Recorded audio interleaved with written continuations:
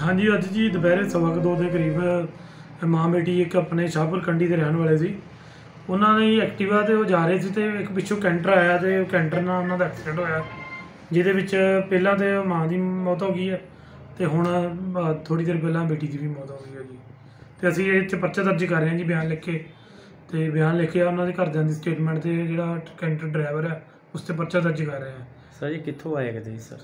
ਇਹ ਜੀ ਸੁਜਾਨਪੁਰ ਸ਼ਾਪਿੰਗ ਕਰਨ ਆਈਆਂ ਸੀ ਇਹਦੇ ਤੋਂ ਤੇ ਕੈਂਟਰ ਜਿਹੜਾ ਪਿੱਛੋਂ ਜੰਮੂ ਸਾਈਡ ਤੋਂ ਆ ਰਿਹਾ ਸੀ। ਕੈਂਟਰ ਅਸੀਂ ਆਪਣਾ ਕੈਮਰਿਆਂ ਦੀ ਮਦਦ ਨਾਲ ਅਸੀਂ ਕੈਮਰੇ ਫੋਟੋ ਕਦੀ ਕਢਵਾ ਲਈ ਫੁਟੇਜ ਥੋੜੀ ਅੱਗੋਂ ਥੋੜੀ ਪਿੱਛੋਂ ਤੇ ਉਹ ਪਤਾ ਲੱਗ ਗਿਆ ਵੀ ਜਿਹੜਾ ਐਕਸੀਡੈਂਟ ਜਿਹਨੇ ਕੀਤਾ ਸੀ। ਤੇ ਬਾਈ ਇਹੀ ਨੰਬਰ ਵਿੱਚ ਕੈਂਟਰ ਤੇ ਬਾਈ ਨੇਮ ਪਰਚਾ ਦੇ ਰਿਹਾ ਕੈਂਟਰ ਤੇ।